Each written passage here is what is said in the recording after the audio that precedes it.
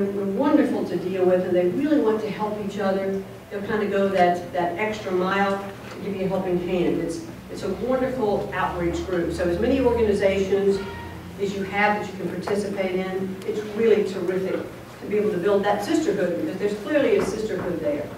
So I would encourage all of you to do that. And then lastly, I'm kind of at the point in my career that we've developed a successful business. I have fantastic uh, people who are working in our company, and I'm very happy to say I'm a CEO. Our COO is female. Our CMO, our Chief Marketing Officer who joins us February 23rd, is female. The head of our Human Resources Division is female. And my daughter, uh, who I'm glad to say, you know, I, I opened a couple of doors in this business, but she has blown the roof off and burst the hinges on those doors. In a business that I first joined that I really wasn't supposed to be seen backstage very much, Stephanie, as the executive vice president, has all the creative writing teams reporting to her. Talent relations reports to her, so all of our individual superstars, male and female, come under her bailiwick. And all of the live event promotions report to her.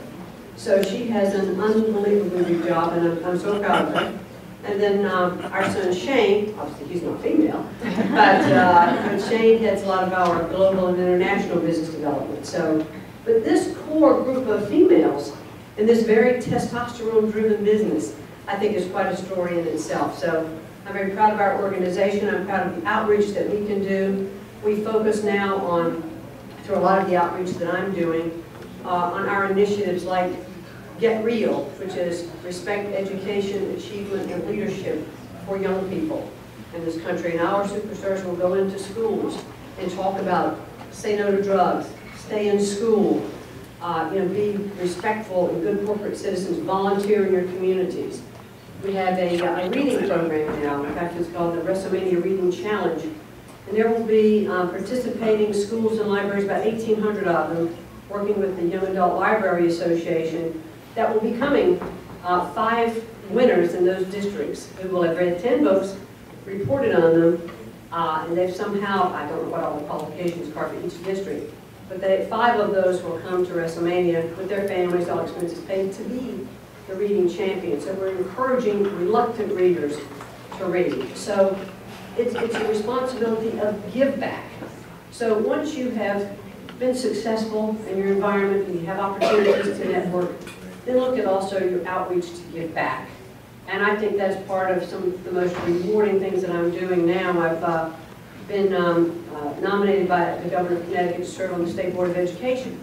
And I'm really looking forward, you know, to that, uh, that tenure. Because I, hopefully I bring a little bit something different to the Board of Education. I'm not an educator, except that I hope that I am both a teacher and a student every day. So to all of you here, you are all successes. Uh, and I wish you continued success. I'm happy to be in Houston. And uh, boy, if you get up to Connecticut sometime, come by WWE headquarters. I'd, I'd love to uh, take you around and say hello and introduce you to the fine folks that are there. So have a good evening. Thank you for the privilege of addressing you this evening. And I didn't get a chance to, to say hello to some of you here in the room. Thank you.